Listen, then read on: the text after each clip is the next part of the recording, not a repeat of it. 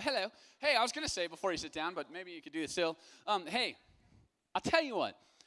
I was just talking to a fellow youth pastor, okay? And we are talking about the hardest part of youth group or, or you know, church for students. That's what I prefer to call it because I hate the idea of youth group. It's like, mm, their youth group over there. No, no, no, we're just church. We're just for a different age. All right, the hardest part of that is getting to know somebody new, right? There's probably, I actually know there's two or three new people in this room. So it is our responsibility, especially for those of us who call Garage home, to take time and meet somebody new, find a new friend, and find out their name. So just for one minute, especially for those of you who call this place home, stand up and find a new friend, find out their name, and ask them, ask them if they shot off fireworks for 4th of July. Just spend one minute, stand on up, find a new friend, ask them their name, ask them if they shot off fireworks for 4th of July.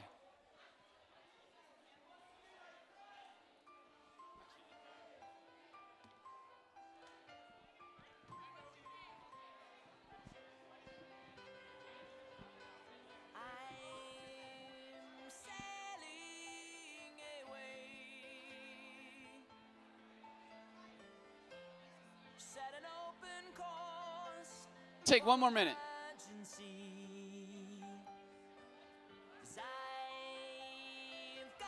Oh my gosh, don't fall.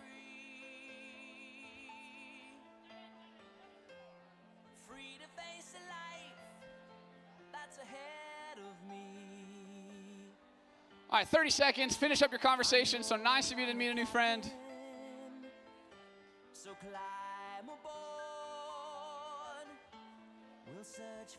Come on back. You coming to summer camp?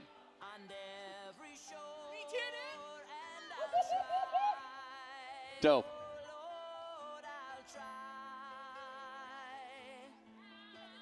All right, front row, you guys know you're in splash zone. Sometimes I yell and scream and I spit sometimes. So if, as long as you're down with that, do you like it?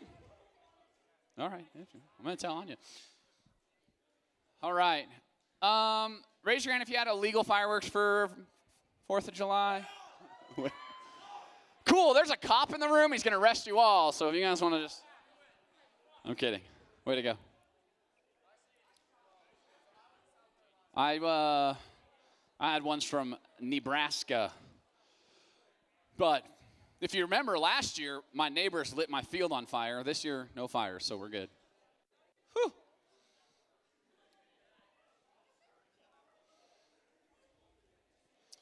All right. All right, so check it out. I got to tell you this. Um, hey, I had a big weekend. We're just gonna we're gonna talk about me for a second. I promise it actually makes sense for what we're going tonight. I had a big weekend this weekend. Okay, had a lot of things going on. Had family come in town. Um, two big things happened. The first, I hate to say this, but it's important to the story. The first is I had my birthday. Yay! I hate my birthday. Oh, yeah. Yeah, and all you losers who follow me on Instagram and saw, yo, Venmo me a dollar, none of you did it. Actually, that's not true. I got like a hundred bucks. It was awesome, but not from you losers. All right, good job. Um, I had a birthday, and um, so so this is what I did. Here's here's the thing, okay? I know you're like 15, 16, 17 in that age range. When you're 15, you're convinced someone who's 30 is like old, right? Like that person is so freaking old. Amanda gets really mad when you say that because I mean, she's only 25, but she isn't like that. I turned 32. Dude, I'm old, right? I'm old. That's what happens. Holy cow. I don't know. I'm 32 now. Golly. Yeah, you're going to give me 32 spankings. That's weird. All right, thanks. I turned 32. And, uh, and uh, so what I did is I went and bought myself a birthday present. I don't like birthdays. I don't want to party. I don't want anybody to buy me anything, right? I don't, need that. Um, but I did buy myself my own birthday present. I bought a new motorcycle. I actually have a picture of it, new motorcycle. It's actually a picture here that I took with my friend Aaron. I bought a motorcycle. It's important to know. I bought a motorcycle, right? I was talking about this message earlier with, with Bryce, and I was like, dude, maybe I should just write it in here. I didn't do that. So I bought a motorcycle. It's a uh, Yamaha. That's fun to say. A 600, which just means nothing. I filled up today and got 50 miles a gallon. That's cool. But I bought a motorcycle, really fun. And uh, the other part of this weekend is um, I have a wonderful daughter. Her name's Mia. And this weekend she turned three, three years old. You can see I have a picture of her. On, we're just like sitting on a motorcycle toge- together. Yeah, there it is. Um, we were hanging out. And then, yeah, this next picture is um, she was laying in the grass. And I thought, dude, I wish I could be that happy all the time because she's happy like that all the time. Look at that beautiful three year old. You can just say, oh, she's super cool. She's wearing pajamas and cowboy boots. That's the. That's the jam, apparently, for three year olds. Three years old. Very pretty, beautiful young lady. But here's the thing I've been wanting a motorcycle for a while. I've been wanting a motorcycle for a long time. Those of you who are into cars, anyone kind of into cars? No? Cool? Yeah? All right, all right, sweet. Um, hopefully, some of you have a car. That's a good idea. Um, I, I, was into fast cars and lifted trucks. I had many cars for a long time. And eventually, you're like, holy cow, this all costs too much. So, at some point, I got married. I had to get rid of the fast cars. And I thought, man, one day, I'm going to get a motorcycle because motorcycles are kind of fast and, and maybe they're a little dangerous, yeah, but they're kind of fast and kind of fun. But they also get great gas mileage, which is really nice. And so I've been looking for this forever. I've actually been looking for like a year for, for a, a newer motorcycle like this that'll work out well. And I, and I, took these classes, and you get your motorcycle's license. The problem is here's the deal with the classes. If you ever want to get your motorcycle license, all the class teaches you this is the dumbest thing in the world. All the class teaches you is how to weave through cones at 10 miles an hour. Woo! That's going to save your life. So, anyway, eventually I found this one. I called the guy and I was on Facebook Marketplace and, and he's up in Boulder, right? So, from my house, Boulder's like an hour, hour and a half. And so, one early morning, I shoot up there and I get up to Boulder. And I actually end up leaving my car there because I figure I'll just get my car later because I'm so excited to get my motorcycle. Vroom, vroom, vroom, vroom, vroom. I get my motorcycle, I put on my helmet, I got like a funny riding jacket because it has like pads. I can't imagine that it would do much, but I do it because my wife said I should. And I'm riding my motorcycle down the street. And this street, it's in Boulder, it's about 50 miles an hour, 5 0. And so I'm doing 50 miles an hour. And I'm thinking, man, this is pretty good. This is pretty comfortable. You know, there's not a lot of cars around. It's pretty quiet. 50. I can do 50. The problem is, from Boulder to my house, you can take a back way through Denver and 6th Avenue and 36 and and it takes 2 hours to get to my house or or if there's no traffic, you can take the freeway and it only takes 45 minutes to an hour. But in my personal experience, the fastest I've ever been on a motorcycle was 50 miles an hour. So I'm riding this motorcycle, right? I'm riding this motorcycle 50 miles an hour, having a lot of fun. A little bit of rain's coming down, but it's totally fine. The rain goes away, rain comes, rain goes away. And I'm at that point, at that intersection, where I can go straight, take another hour and a half to get home, or I can get on the freeway. And if you've ever ridden a motorcycle, or if you've ever driven, or if you've ever gone snowboarding, there's like that moment when it comes to speed. When you're first getting onto the freeway. And I remember when I was getting my license, I was first getting on the freeway in my mom's four screen minivan. The freeway's kind of scary because everybody's doing like 80, meow, and you're like, oh, just let me in, please.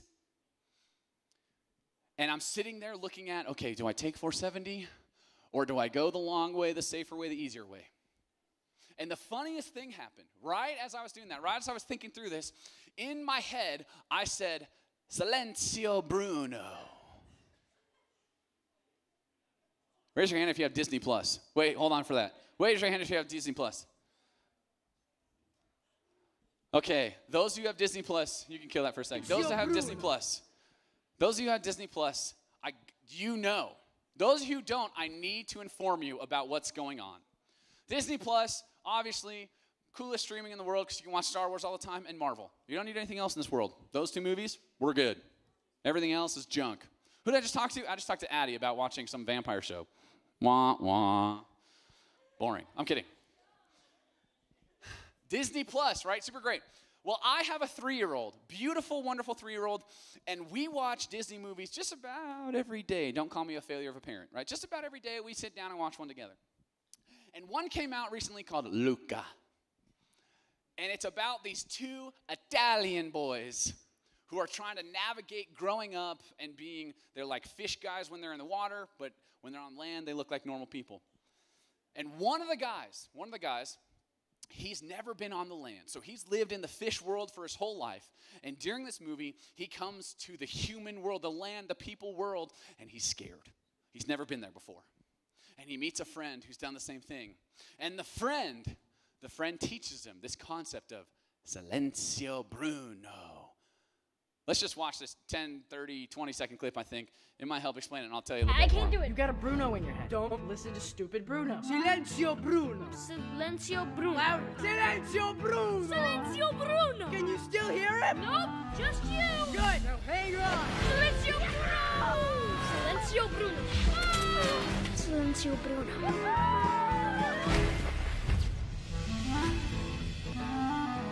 That's only 20 seconds. But during this whole movie, the one guy who was yelling, hey, just say Silenzio Bruno, he was helping guide the son of their young band to do daring things. Bruno is not a person, but instead, what happens in this scene is they're about to take a makeshift scooter that they made, kind of like a motorcycle, right? A makeshift scooter that they made, and shoot it down a hill to jump it off a cliff into the water. And the one guy's like, yeah, let's do it, it's gonna be so awesome. And the other guy's like, this is a stupid idea, we should not do it. And the one guy says, oh, it's because you have a Bruno in your head. Well, what's a Bruno? Bruno, Bruno is that voice in your head that says, Don't do it, you're scared. Don't do it, you're scared. You shouldn't do things that are scary. And so he teaches us throughout the whole movie when that moment comes up, when you're scared, when you're trying to merge onto the freeway in your mother's minivan, when you're trying to ask out that girl that you've been talking to this whole time, when you're trying to maybe, maybe take a risk and make a new friend, take a risk and try out for a team you've been wanting to try out for, when you're in that moment where fear takes over and I think, I freeze up and say, I can't do it, I'm scared. That ever happened to you? That ever happened in your friendships, in your relationships? That ever happened in your daily life? That ever happened when you walk into this room? I'm scared to walk into church. When that moment happens, maybe, maybe in our heads we should tell Bruno, our scared little conscience, to say, Silenzio Bruno. And while I was driving my motorcycle, and I was looking at, do I want to go? And that part of 470, you know, the, the speed limit gets to 75. Do I want to go, you know, 80 miles an hour? Or should I take the safe way home? And as I was looking at the division, as I was deciding, you know, I got to decide before this, I heard in my head, Silenzio Bruno. And I took the freeway. And it was totally fine. It was great. It saved me a half an hour. It was awesome. It was kind of fun, actually. But I learned something. I learned something about myself. And actually, I would even say I learned something that I think God wants to teach us.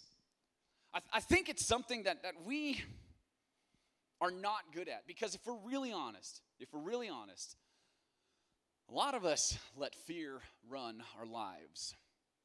A lot of us let fear make the decisions.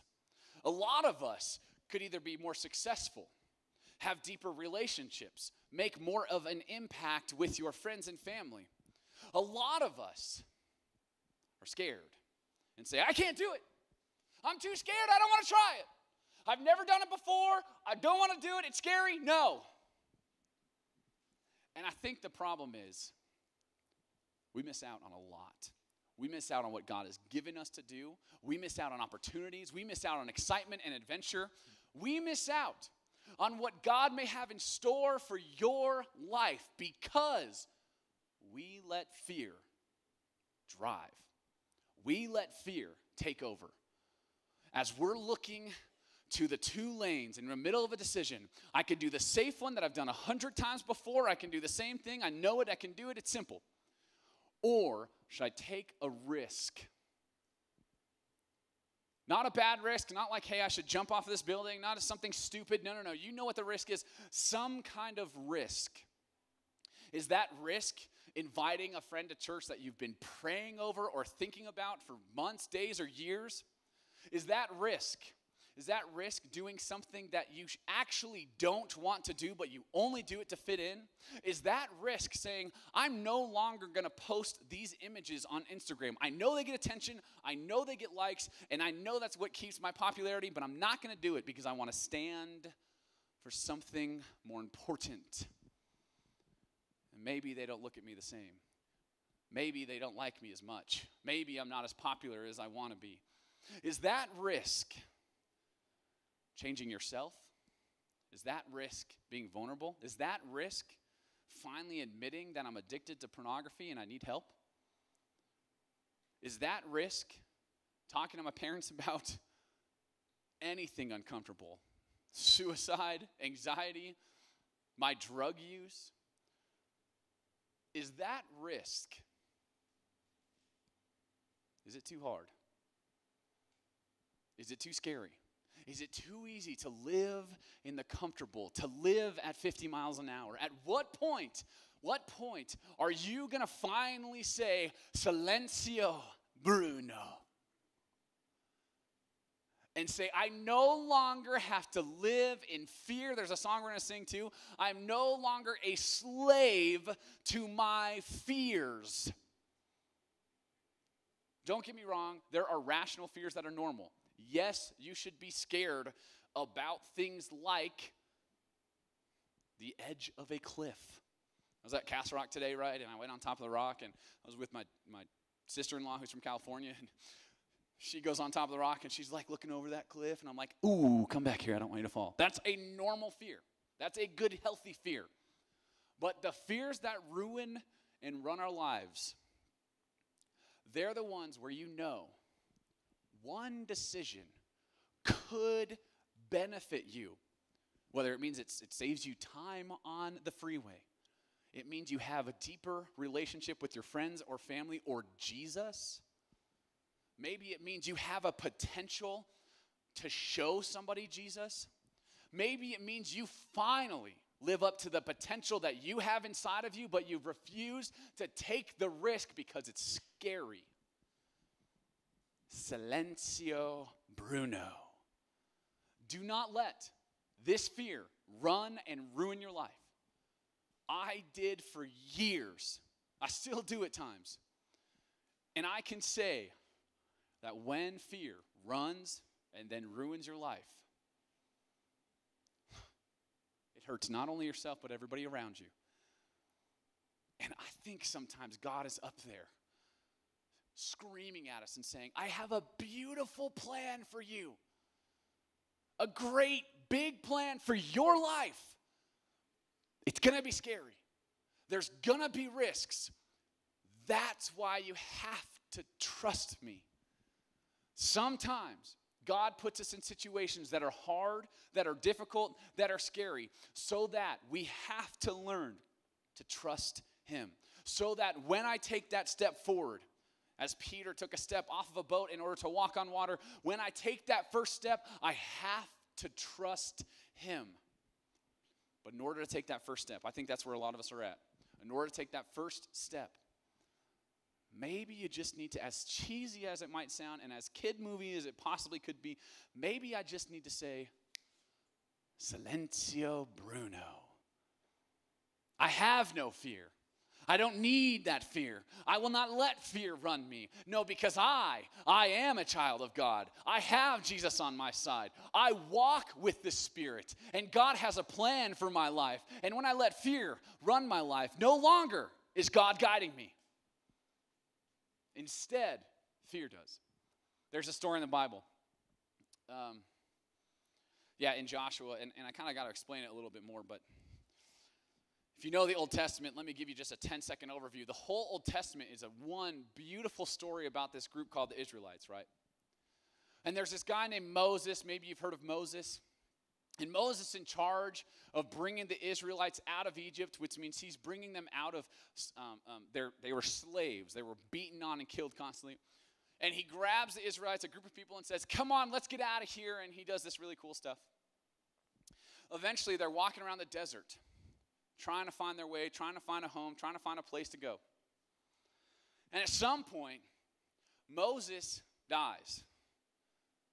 And now there's thousands of people that have been following Moses this whole time because if Moses is here, you know, Mo- Moses is the chosen one. Moses, he did this cool thing. Moses, if people needed water, he'd get his stick, his rod, his staff, hit a rock, and water would sprout out. If they needed food, he would pray and manna would rain from the heavens.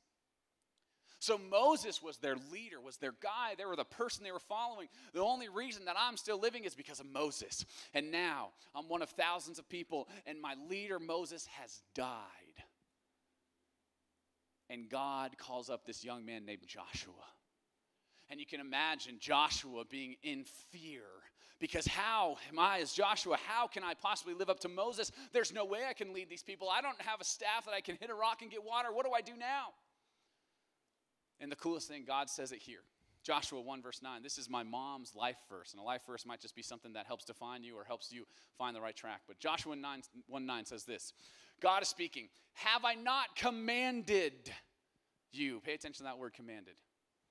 Have I not commanded you? This is not a simple request. This is, You are going to do this. Have I not commanded you? Be strong and courageous. Do not be afraid. Do not be discouraged, for the Lord your God will be with you wherever you go.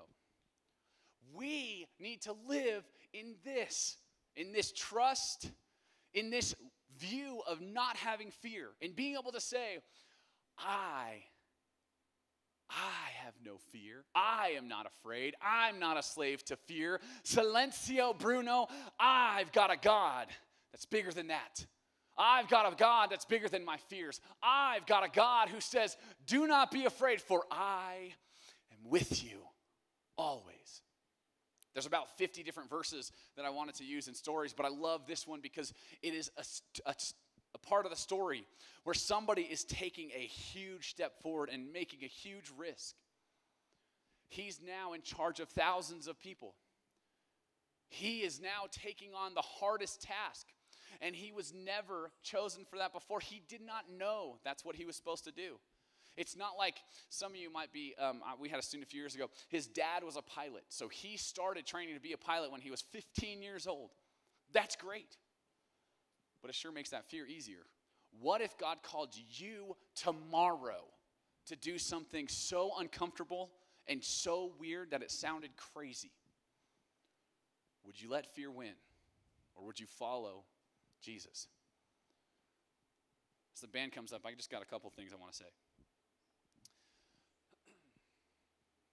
A lot of what I do here, right? A lot of the time that I spend with you students, a lot of what I care about, I want you to be better than me.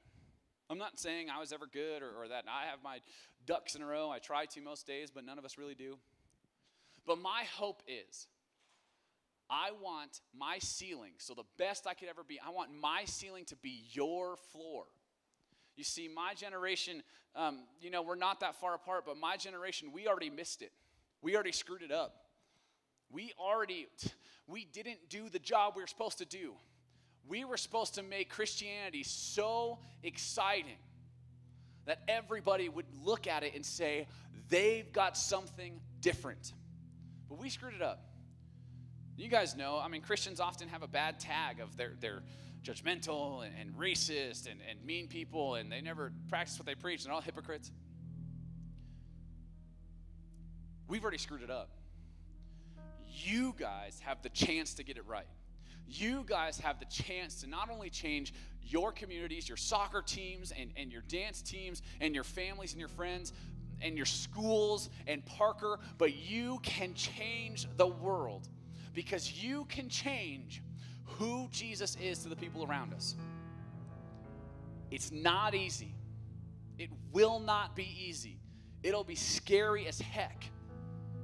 But please hear me now. Do not live in fear. I believe that Jesus talks to us constantly. I believe that sometimes that still small voice in your head where you're like, I don't know where that thought came from, that could be God speaking. And most of the time when that comes up, I'll give you an example. I was playing frisbee golf just last year. I was playing frisbee golf. You guys know I play out here all the time. I was playing by myself, and I so weird. In my head, I heard something say, "Play with that guy. His name is Frank." And I'm thinking, "No, I don't know what that is. That's weird. That just sounds weird. Like I'm a crazy person." Two holes later, I happened to talk to this guy because my disc landed by his. He said, Hey, I'm Frank. Can I play with you? Yeah, I know it's hollow. The reality is, right? God asked me to do something. I failed. I should have followed through and run up to him and be, hey, my name's Jeremy, man. I think you're Frank. Let's play together. We, have, we had a great conversation. We ended up talking for a little while and haven't seen him since, but I know that God had a purpose for that. Do not, all that to say, do not live your life in fear. When it comes to worship, worship your hearts out. I mean, don't let the judgment of other people, if you're scared of somebody looking at you, it's their problem, not your problem. When it comes to summer camp, those of you going to summer camp, it's a great opportunity for you to get out of the hidden corner that you like to stand in and be somebody or do something or be someone different. It's scary. I get it. But take the risk, make a new friend, worship in a way that God looks down and says, Thank you, my good and faithful servant. Now, worship is different for everybody. Maybe you like to sit and listen. Maybe you like to stand and sing. Maybe you like to jump around. That's fine. I don't care how you do it, but your heart for worship is what matters. So, we're going to sing two last songs. But next time you're making any decision, next time you feel some spark in your heart, next time you think you should do something or invite somebody or talk to somebody, next time you think you should try out for that team, next time you think you should take more AP classes because it could be good but it sounds too hard, next time you're at some crossroads and you're looking at the path, can I take the easy way? The way that I know, the way with least resistance, and I could cruise at 50 miles an hour and I'll get there or I could take the highway. Maybe it's a little scary.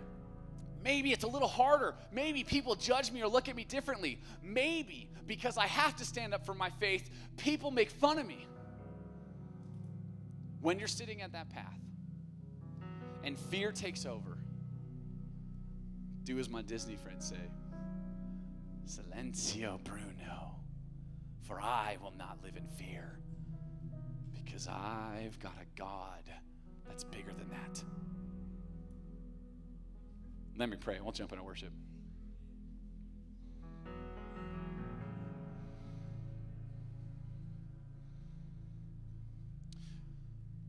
Thank you, Jesus, that we can be here.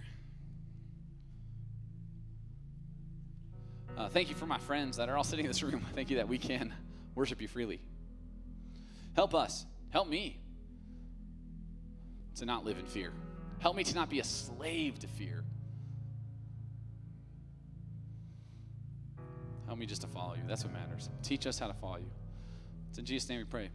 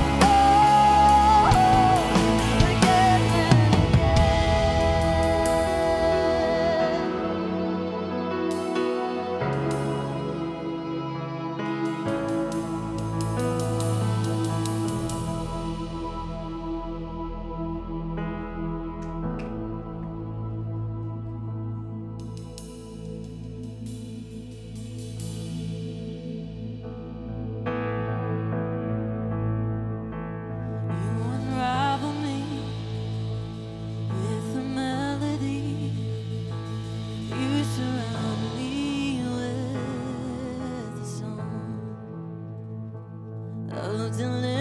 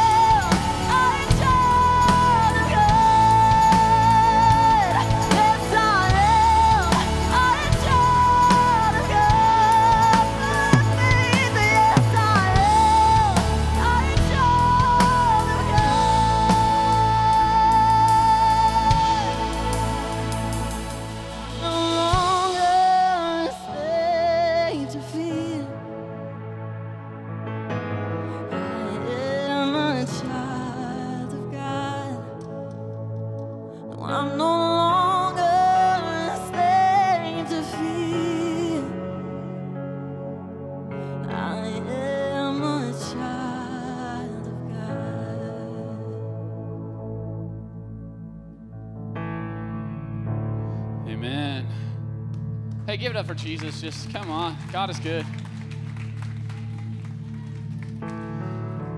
Hey, real quick, um, Tuesday, Summer GT at O'Brien Park, 12 to 2. We'd love to see you. Wednesday, small groups over on the other side, 6.30 to 8. It would be super awesome to see you. Sunday, we do not have garage. Sunday, we do not have garage. So Tuesday, Wednesday, Sunday, no garage.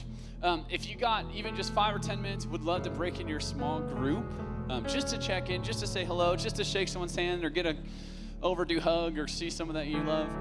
Um, they're throughout the room. If you don't know where you're going, come see me and I'll point in the right direction. Two things we say every week you are loved and prayed for, and you're accepted here just as you are. Go in peace. Serve the Lord.